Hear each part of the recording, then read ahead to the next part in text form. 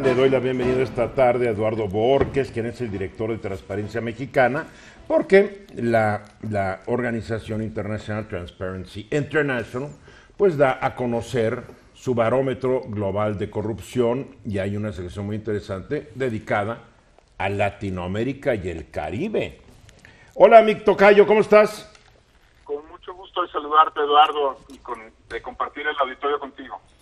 A ver, platícame qué nos dice este nuevo barómetro de corrupción Latinoamérica y el Caribe, Eduardo.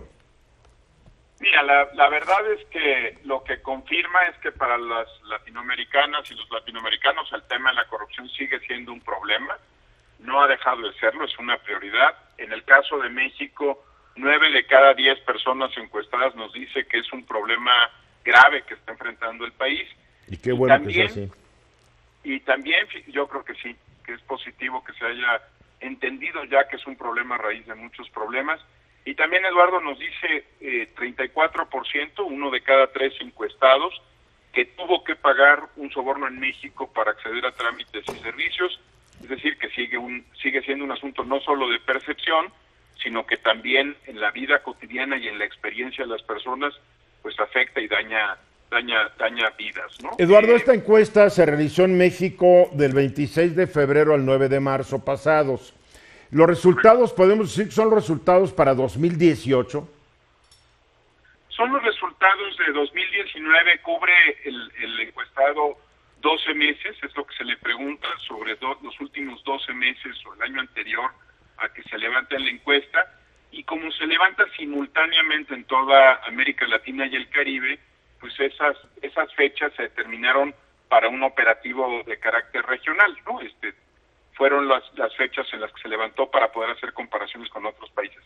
Cubre 12 meses y en este caso una buena parte pues de la, de la entrante administración del presidente López Obrador. Claro, por lo menos los primeros dos meses del presidente, tres meses del presidente López Obrador. Sí, eh, si quitamos ese periodo confuso que tuvimos eh, durante los los seis meses de transición, ¿no? Donde parecía que se había replegado por completo el presidente Peña Nieto, ¿no? Pero sí, efectivamente, en términos formales, del primero de diciembre de, de 2018 a la fecha en la que haya sido levantado, marzo de 2019. A ver, me llama la atención el lo siguiente, y estoy viendo una tabla. Eh, porcentaje de la gente que cree que su gobierno está haciendo las cosas bien o mal eh, en lo que es su ataque a la corrupción y México está en el tercer lugar de los que creen que lo está haciendo bien, después de, bueno, está en segundo lugar, después de Guyana, eh, México ya está en segundo lugar, cuando en otros estudios yo recuerdo que la mayoría de la gente decía que no estaba haciendo nada bien. Hay un cambio de, de, percepción. Eso es, creo, Eduardo, el tema más interesante del barómetro. Mira, la verdad es que le dejaron el estándar bajo a esta administración. El presidente Peña Nieto no tocaba el tema, no daba entrevistas todos los días, no tenía una posición sobre muchos de estos asuntos. Dejó, eh, creo que se sabe, abandonado el tema de, del control efectivo de la corrupción, más allá de lo que se le pueda imputar o no. Y creo que además eh, era muy evidente ya al final de la administración que estaba resistiendo todo el tema de la reforma para crear el Sistema Nacional Anticorrupción. Entonces, claro, la opinión pública, Eduardo, está haciendo un contraste respecto a lo que vivió con el presidente Peña Nieto y está reconociendo esa, ese nuevo estilo, permíteme ponerlo así, de enfrentar el tema y que se le reconozca también desde la presidencia de la República como una prioridad y como el tema más importante de la administración López Obrador. Ese cambio de percepción es el que está registrando el barómetro, ¿no? Cómo se, cómo se relaciona un jefe de Estado, un presidente de la República con, con un problema como de, esta naturaleza. El problema es que ese cambio de percepción no viene, a, no viene aparejado a un cambio de experiencia, porque después de Venezuela, que dice que el 62% de la gente tuvo que darle una mordida a un policía en los últimos 12 meses, México queda después de Venezuela con el 52% en el segundo lugar, lo cual no es nada no es nada grato, pero es reconocer un problema, que la corrupción de los policías en México es terrible. Correcto, mira, policías, policías de tránsito, temas que tienen que ver con procuración de justicia siguen estando muy altos, aunque el promedio nacional para todos los trámites y servicios es 34%, o sea, uno de cada tres que reconoce haber pagado un soborno, crece cuando se refiere a temas que están vinculados con seguridad y justicia, y, yo creo que la sociedad está siendo muy clara, digamos, eh, puede, puede dar un voto de confianza al nuevo presidente, pero al mismo tiempo está reconociendo que su vida, en términos prácticos, cuando trata con policías de tránsito, cuando trata con la policía, con los policías ministeriales, con los jueces, no ha cambiado, sigue siendo uno de cada dos mexicanos los que reconoce que tuvo que pagar un soborno para para que ocurrieran las cosas que tendrían que haber ocurrido por otra por otra vía legal y sin corrupción.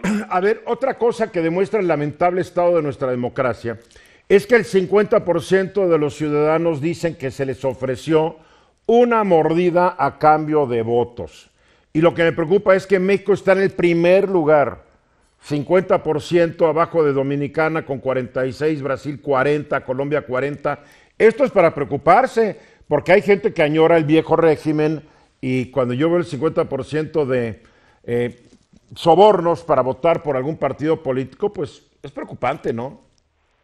Muy preocupante. Este, además estaba muy cerca la elección, Eduardo, ¿no? Eh, es decir, la, la sensación que pueda reportar o las impresiones que pueden reportar los informantes, pues no estaban tan lejos. Había un proceso electoral nacional que acababa de ocurrir y es un tema delicado. Yo creo que ha sido un un asunto que se, del que se habla eh, sobre todo en los periodos electorales, pero no se había conectado tan, de manera tan directa con que la, la población reconoce en esto un, prácticamente un soborno al revés, ¿no? Digamos, los partidos políticos sobornando a los ciudadanos para que los ciudadanos voten en un sentido, ¿no? Lo que llamamos técnicamente compra o coacción de voto, ¿no? Claro, que lo eh, hemos, hemos sabido desde siempre que existe, ¿no?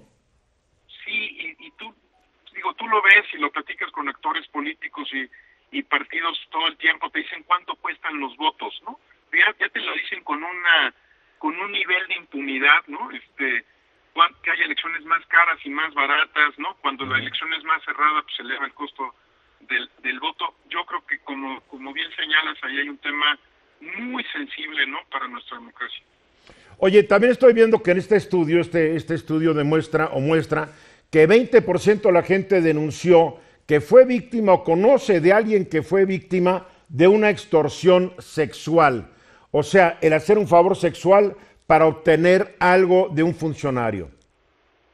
Este es un tema del que vamos a hablar mucho más, Eduardo. Eh, justamente mañana eh, y el miércoles hay una reunión eh, que, que, vamos a tener con ONU Mujeres y con Transparencia Internacional a nivel global eh, lo que nosotros llamamos extorsión sexual o, se llama en inglés extortion, ¿no? Que es un es un tema del que no estábamos llevando registro, no se consideraba eh, corrupción hasta hace algunos años y a partir de este momento sí creemos que hay que hay que empezar a hablar del asunto, incluso eh, estamos preparando una propuesta legislativa Eduardo sobre el tema porque la la verdad es que la extorsión sexual es es otra forma de intercambio corrupto, digamos, ¿no? Le estás pidiendo a una persona que entregue a cambio de obtener una plaza, a cambio de tener un, un lugar en, eh, en, una oficina de gobierno, eh, le estás pidiendo favores sexuales y otras, otras formas de, de abuso y de acoso sexual, es grave, es muy frecuente, y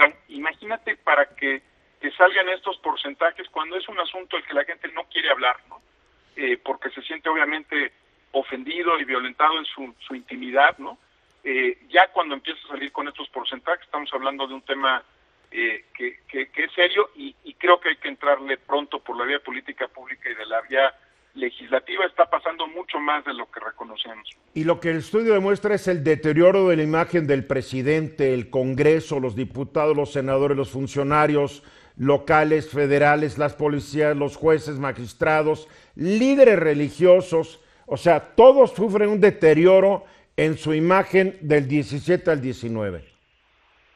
Eh, completamente de acuerdo con lo que planteas. Además, eh, fíjate que este es otro tema que estamos estudiando con mucho cuidado en Transparencia Internacional, porque justamente los los bolsonaros del mundo, déjame ponerlo así, Eduardo, están aprovechando este deterioro institucional para actuar como actúan. Y a mí sí me preocupa lo que vimos en Brasil, mucho más, ¿eh? De lo, yo sé que hablamos con frecuencia de Venezuela, me parece mucho más delicado lo que vimos en Brasil, porque es justamente esa, esa crisis que, que en los años 90 y al principio del siglo XXI llamábamos que se vayan todos, ¿no? Ese momento de hartazgo Mm, mm. generalizado, lo que le abre puertas a liderazgos como los que estamos viendo en el caso brasileño. Eduardo, felicidades a ti y a todo el equipo de Transparencia Mexicana y Transparencia Internacional por lo que están haciendo. Muy buen barómetro. Gracias.